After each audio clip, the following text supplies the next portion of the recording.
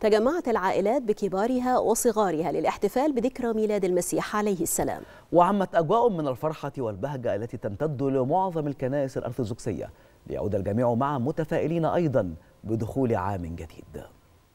على الأرض السلام وبالناس المسرة. كلمات تتردد وسط كنيسة السيدة العذراء وأبو سيفين احتفالا بعيد الميلاد المجيد. تجمعت العائلات المصرية بكبارها وصغارها وشبابها وبناتها ليصلوا جميعا في ذكرى ميلاد المسيح عليه السلام. كل سنة ومصر كلها طيبة والشعب المصري كله طيب.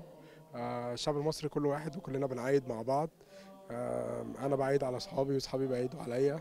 بيبقى جو عائلي يعني في مصر عموما يعني. أجواء العيد دايما مفرحة ودايما بتجيب خير معاها وبتجيب سعادة وبشارة بتبقى بشارة مفرحة لكل الناس. وسط أجواء من الفرحة والبهجة وبعد الصلاة التي تمتد لمعظم الكنائس الأرثوذكس يعود الجميع سويا ليجتمعوا في البيوت ويأكلوا سويا ما لذ وطاب متفائلين بدخول عام جديد. كل سنة وأنتم طيبين ويا رب عيد سعيد وسنة سعيدة على كل المصريين.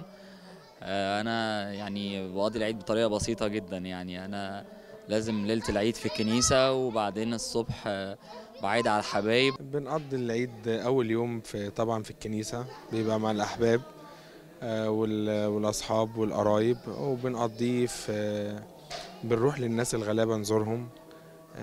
بنشوف أي حد محتاج حاجة بنساعده وكلنا يعني بنعمل اللي ربنا بيقدرنا عليه. تأتي احتفالات عيد الميلاد المجيد في السابع من يناير هذا العام الذي يوافق ميلاد المسيح حسب التوقيت القبطي الشرقي ومنها أغلب الكنائس المصرية. طموحات وآمال للسلام بأن يعم العام الجديد. تجدها وسط احتفال المصريين بعيد الميلاد المجيد في معظم كنائس الجمهورية آملين بأن ينتشر الأمن والأمان والفرحة في مصر بشكل خاص والعالم بشكل عام.